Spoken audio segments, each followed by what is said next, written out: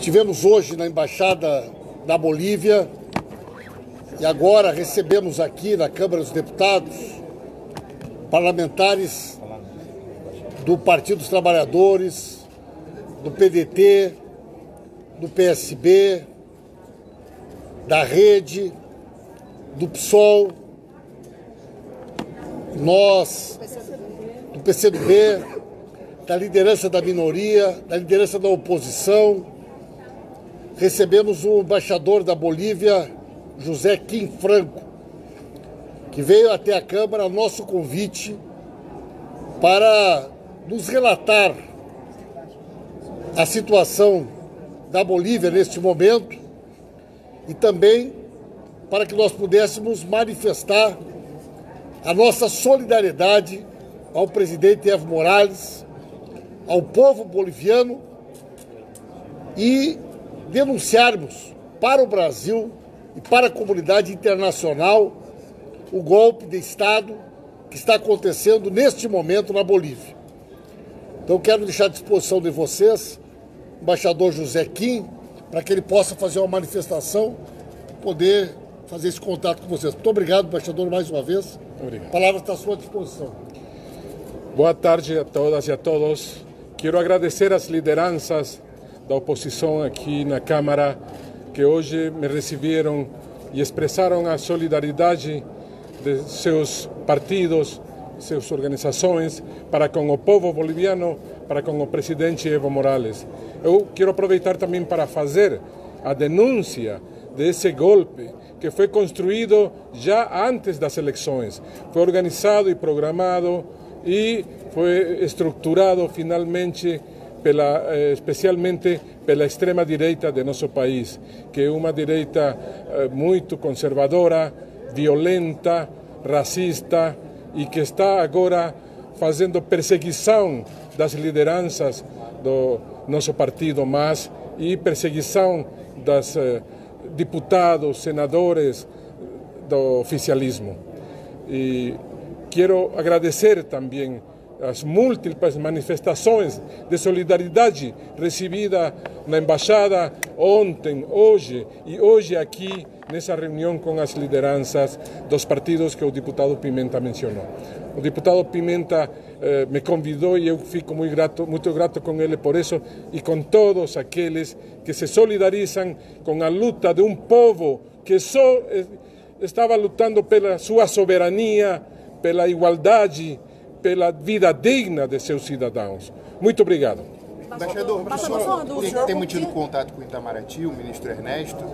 É, que tipo de conversa sobre situação política na, na, Bolívia o senhor tem com o governo brasileiro? A, ainda nós não nos contactamos, não, eu, não, não, não tive a oportunidade. Embaixador, agora que teve essa troca no governo boliviano, o senhor está tá chamando de golpe, o senhor continua hoje, o senhor ainda é oficialmente embaixador da Bolívia?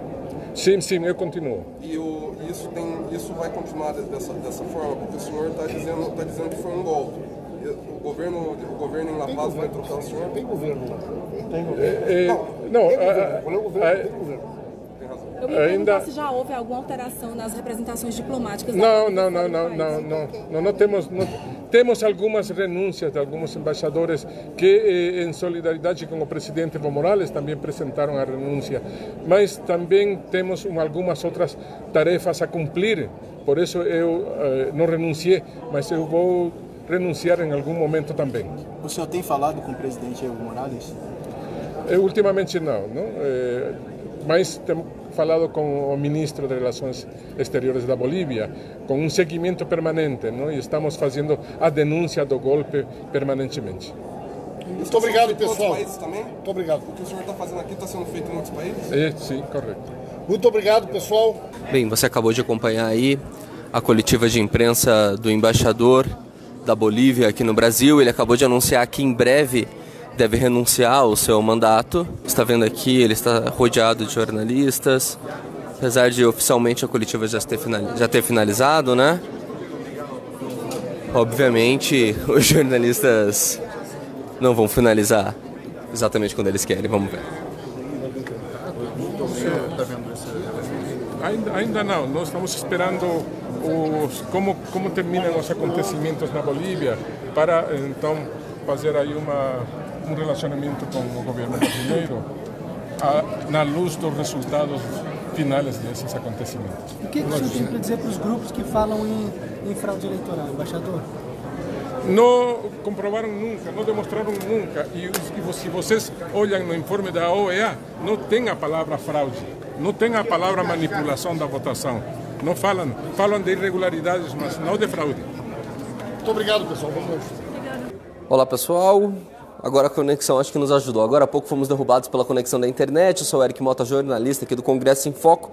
Eu iria explicar agora há pouco sobre o que aconteceu ali no Salão Verde. Depois o embaixador da Bolívia veio até aqui a Câmara dos Deputados se reunir com líderes da oposição, do PT, da minoria, para falar um pouco sobre a situação da Bolívia. Bem, ele, o embaixador, classificou, como vocês puderam acompanhar, como golpe, porém muitas pessoas estão classificando apenas como renúncia mesmo, pois Vale lembrar sempre que o ex-presidente da Bolívia, Evo Morales, ele é suspeito de ter fraudado as eleições. Vamos lá, gente. A Bolívia ela, ela proibiu em determinado momento, em 2009, a reeleição, mas o Evo Morales desde então vem conseguindo ali através de recursos judiciais ali no equivalente ao STF deles é, conseguir se candidatar e vem vencendo a eleição sucessivamente. Acontece que a OEA nessa nesse último domingo emitiu um relatório onde afirmou de que houve sim fraude nas eleições bolivianas. Então, a partir desse momento, e também tem o outro lado sempre, né? Com a pressão do exército boliviano, com os ataques às casas de familiares e líderes opositores, é, líderes governistas, né, líderes aliados a Evo Morales. Diante de tudo isso, foi que o Evo Morales veio a renunciar. Portanto, hoje o embaixador veio aqui na Câmara dos Deputados, vocês acabaram de acompanhar a coletiva ali no Salão Verde, onde ele afirmou que ele também irá renunciar e que esse movimento de dar coletiva nos poderes legislativos dos outros países é, e a com a consequente renúncia do seu cargo irá acontecer em outros países também. O Congresso em Foco está acompanhando toda esta situação da Bolívia, não apenas da Bolívia, também a situação do Chile, a situação da Argentina que acabou de ter eleição, do Peru, enfim, você pode ficar por dentro de tudo que acontece na democracia na América Latina, aqui através sempre do Congresso em Foco. Eu quero lembrar vocês que o jornalismo do Congresso em Foco é um jornalismo independente de qualidade, você pode colaborar, ser um fiador desse jornalismo independente, colaborando sempre com a nossa campanha do Catarse, catarse.com Congresso em Foco. Entre lá, colabore com a nossa campanha do Catarse. Nós voltaremos aqui no Facebook, no Twitter, no YouTube, no Instagram, em todas as nossas redes sociais a qualquer momento, conforme tivermos novidades, não apenas na Bolívia. Vale lembrar que o presidente da, do Senado, Davi Alcolumbre, acabou de declarar hoje de que ele é favorável, de que ele pode vir sim a declarar uma nova constituinte. Esse movimento vem crescendo. Você acompanhou em primeira mão no Congresso em Foco há umas duas semanas, matéria da Marina Barbosa avisando que os deputados e senadores estavam sim já discutindo uma nova constituinte e hoje o presidente do Senado falou que essa nova constituinte pode mesmo acontecer. Eu estava acompanhando a sessão que fala sobre o pacote da prisão em segunda instância aqui na CCJ, aqui do lado. Estão os plenários ao lado só para fazer essa transmissão para vocês. E foi citado essa questão da constituinte ao menos duas vezes no tempo que eu estava ali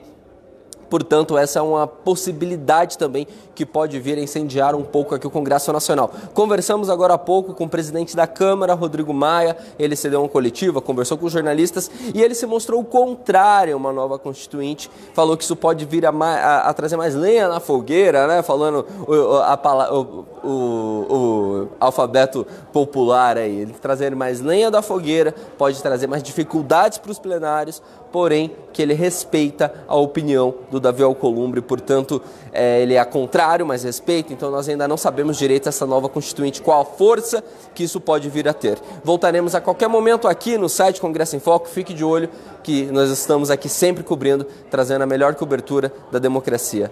Até já.